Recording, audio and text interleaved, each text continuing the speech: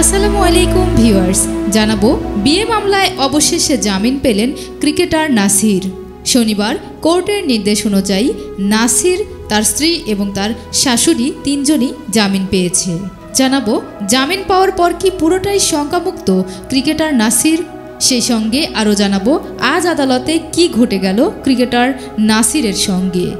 এক বধূ, দুই স্বামীর টানা হিসরা।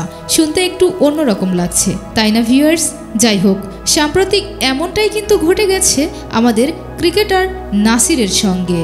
জালিয়াতি বিয়ের মামলায় আজ নাসির এবং তার স্ত্রী তামিমা সুলতানা তাম্মি এবং তার শাশুড়ি সুমি আক্তার সশরীরে হাজির হন আদালত প্রাঙ্গণে। চান জামিন। দশ হাজার টাকা মুসলেকায় জামিন পান আসামিরা। জামিন পাওয়ার পরপরই ক্রিকেটার নাসির হোসেন কথা বলেন গণমাধ্যমে। তিনি জানান, মামলা মোকাবেলা করা হবে আইনিভাবে। সেই সঙ্গে আবারও জাতীয় দলে ফেরার স্বপ্ন দেখেন তিনি। নাসিরের আইনজীবীর দাবি, তামিমা রাকিবের বিবাহ বিচ্ছেদ নিয়ম মেনেই হয়েছে। চলতি বছরের ভালোবাসা দিবসে ক্রেভিন ক্রু তামিমাকে বিয়ে করেন ক্রিকেটার নাসির। অন্যদিকে তামিমাকে বৈধ বউ দাবি করে মামলা করেন রাকিব।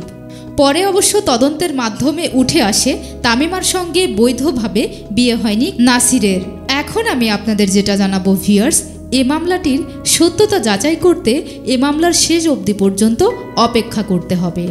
আজকে আদালত প্রাঙ্গণে নাসিরের পক্ষের আইনজীবী বলেন, আজকে যদি নাসিরের প্রতি এমন মামলা না হতো, তাহলে হয়তোবা জাতীয় দলের সাথেই খেলতেন এবং দেশের স্বপ্নকে অনেকটাই বাস্তবায়ন করার চেষ্টা করতেন তিনি। আদালতের কাছে ক্রিকেটার নাসির এটাও বলেন, তামিমার সাবেক স্বামী, অর্থাৎ রাকিব যে দাবিগুলো করছে, সেগুলো সম্পূর্ণই ভিত্তিহীন। দর্শক, শুরুর দিকে যখন ক্রিকেটার নাসির আদালত প্রাঙ্গণে যায়, তখন তাকে অনেকটাই বিমর্ষ দেখাচ্ছিল। পরে দুপক্ষের শুনানির পরে যখন তাকে জামিন দেয়া হলো, তখন অনেকটাই হাসি মুখে আদালত প্রাঙ্গণ থেকে বেরিয়ে আসছিলেন ক্রিকেটার নাসির। যদিও ক্রিকেটার নাসিরকে দেখে মনে হচ্ছে তার ভয়টা অনেকটাই কেটে গেছে, কিন্তু না, তার ভয় কিন্তু এখনও কাটেনি। কারণ যে অপরাধের ভিত্তিতে তার বিরুদ্ধে মামলা দায়ের করা হয়েছে, সেই অপরাধটা যদি সত্যতা যাচাই হয়, তাহলে অবশ্যই তাকে মিনিমাম ছয় থেকে বারো বছর পর্যন্ত জেলে থাকতে হবে। ক্রিকেটার নাসিরের বিচার হবে সাক্ষ্য প্রমাণের ভিত্তিতে। সাক্ষ্য প্রমাণের ভিত্তিতে যদি দোষী প্রমাণিত হয়, তাহলে অবশ্যই তাকে কারাভোগ করতে হবে।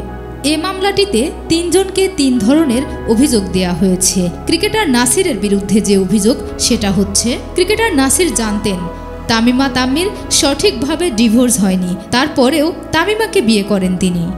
এর ভিত্তিতেই কিন্তু পিবিআই বারবার বলছে, ক্রিকেটার নাসির অপরাধ করেছে, যার ভিত্তিতে অবশ্যই তার সাজা হওয়ার সম্ভাবনা রয়েছে।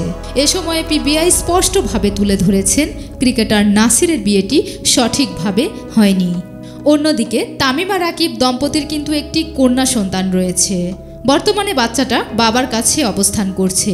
এর আগে সোশ্যাল মিডিয়াতে দেখা গেছে, মায়ের সম্পর্কে বিভিন্ন রকম কটুক্তিমূলক কথা বলছেন শিশুটি। যাই হোক ভিয়ার্স এটা বলতে চাই এখনও কিন্তু ক্রিকেটার নাসিরের ভয় কাটেনি। তথ্য প্রমাণের ভিত্তিতে অপরাধ প্রমাণিত হওয়ার পরে অবশ্যই তাকে কারাভোগ করতে হবে। ভিয়ার্স জানতে চাইছি ক্রিকেটার নাসির ও তামিমার বিয়ের সম্পর্কে আপনার কি মতামত? কমেন্টের মাধ্যমে ঝটপট লিখে পাঠিয়ে দিন আমাদের স্টেট লাইফ বিডির কমেন্ট বক্সে। সেই সঙ্গে ভিউয়ার্স যারা আমাদের চ্যানেলটি নতুন ভিজিট করেছেন সাবস্ক্রাইব করে বেল বাটন অলে ক্লিক করবেন, যাতে করে আমাদের পরবর্তী আপডেটগুলো সবার আগে আপনিই দেখতে পারেন। ধৈর্য সহকারে আমাদের পুরো ভিডিওটি এতক্ষণ পর্যন্ত দেখার জন্য আপনাকে অসংখ্য ধন্যবাদ।